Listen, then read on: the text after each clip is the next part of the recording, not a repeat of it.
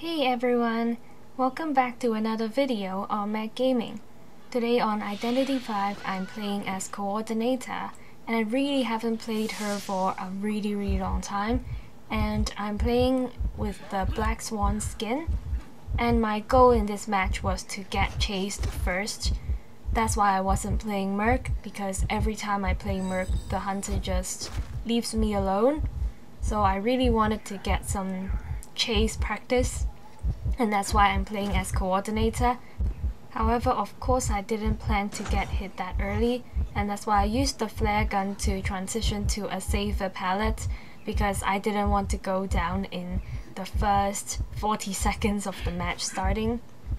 So yeah, I managed to stun the hunter with the pallet and I transitioned back over to this area where the hunter spawned and I tried to do another pallet stun but he changed to the white form and I managed to not get hit by his really long hitbox and then I just left some scratch marks around and then I ran over to the graveyard area because it is a better area to kite after the pallet is gone from the other area.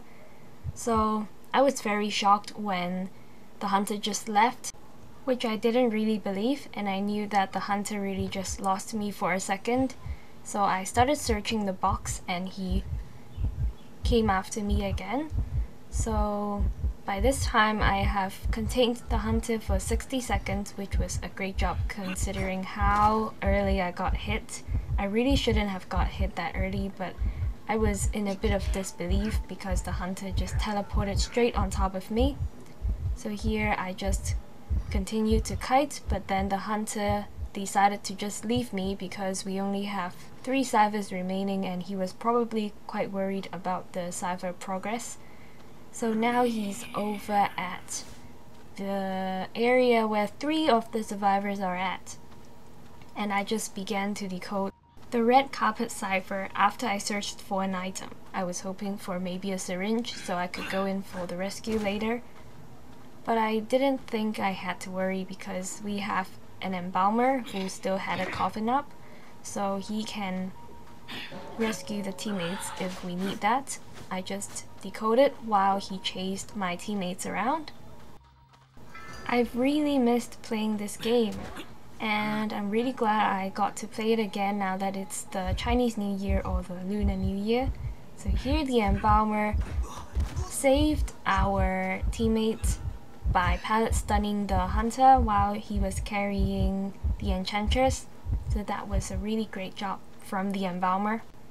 And by then, we really just know that we can really have fun in this match and not really be too worried because we already have nearly only two ciphers remaining and the one that Basia is decoding has been decoded a lot already and the one I was decoding was also nearly completed, so we only need one more cipher.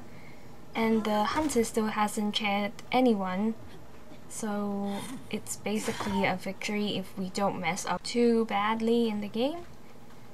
Yeah, so as I've mentioned, I always play Rescuer during rank matches, so I always pick Merc because he is the best rescuer in the game but sometimes he gets banned and we really have to play other characters. So sometimes we'll pick Priestess, but I really want to get back to Coordinator because she was always my main and I will always like playing her the most because she is a bit of a challenge sometimes, but she's also really fun to play as. However, against the new hunters like Percy, or sculptor, her gun really isn't very useful. And the only reason I could pick coordinator was because the hunter used the greeting emote during the waiting lobby, so we all knew that the hunter we were facing is the Wu Chang, and if we are facing Wu Chang, then we can kind of play coordinator because he doesn't have statues that will block your shot. The Enchantress is now getting rebirthed by the Embalmer's coffin, but I was quite shocked because he moved the coffin over to where we were decoding, so we could not complete that cipher. There I was trying to distract the hunter from finding the enchantress at once, and I had to start a new one because they were all there and the hunter is not going to leave this cipher because he knows we are trying to complete it. And now everyone is just trying to distract the hunter while I complete the cipher and we're also trying to protect the enchantress. So we hope the hunter won't find the enchantress. And that's why we're all running around and leaving scratch marks all over which makes it harder for the hunter to track where the enchantress went. And he is really just hitting all the survivors except me because I'm the only one decoding and I didn't understand why one of them didn't come help me decode because if they did actually come over then we could have popped the cipher right there. But they didn't so I had to prime the cipher by myself and the seer just went to the door because maybe they expected us to have primed the cipher already However, I only just managed to prime it when the Enchantress went on the chair, so not trusting my random teammates, I just went in for the save, and I also had Tide Turner, so that would be fine even if the hunter tried to tunnel the Enchantress. And I went to save, and then for some reason the hunter didn't tunnel the Enchantress. He went after me, which I was quite shocked, so I just ran towards the cipher because I knew I could pop it after he hits me. So I popped it here, which is slightly late, but it doesn't matter because I have enough distance between us. And now the hunter just chose to go to the other exit where the seer was trying to open the door. And then I tried to warn them, but they maybe didn't know I was talking to them. So yeah, the hunter teleported straight on top of the seer. And the enchantress and embalmer are at the other exit trying to open it. So yeah, the seer is here and I knew that my teammates have not opened the door yet because I think the hunter had claustrophobia.